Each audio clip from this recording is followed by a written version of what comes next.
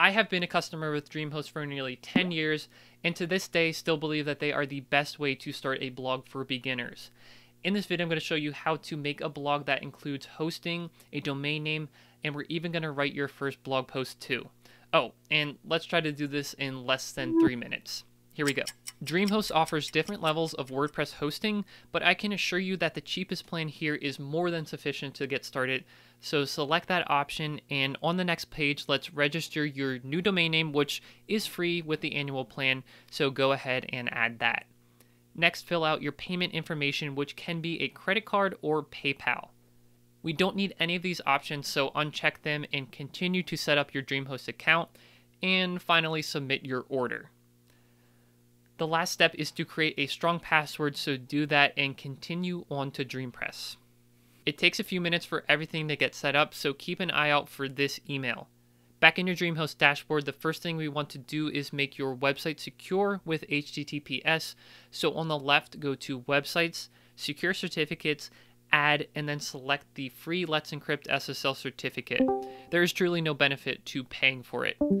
This will also take a few minutes, and when it's done, you'll see that it's installed, and we can confirm that by going back to WordPress, Manage WordPress, Manage, and then Manage WordPress. Notice how the URL has changed to your domain name slash WP admin, and there is the lock icon, which means that we are secure with HTTPS. Go into the plugin section, and the first thing you should do is to deactivate all the pre installed plugins and delete them so that we can start with a clean slate.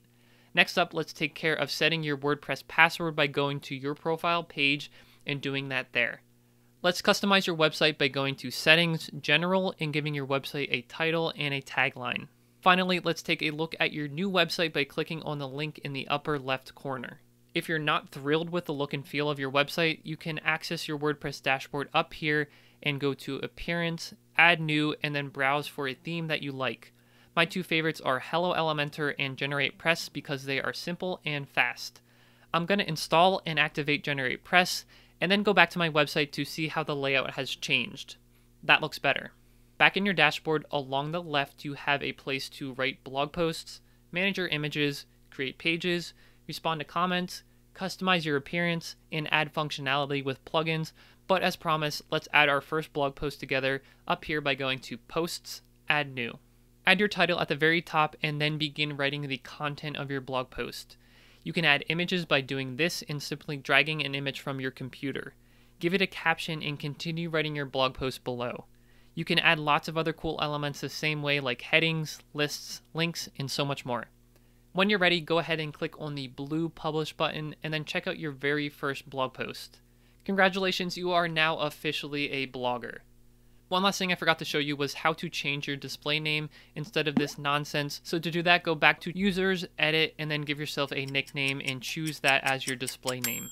That looks perfect. And that right there should get you started on your blogging journey.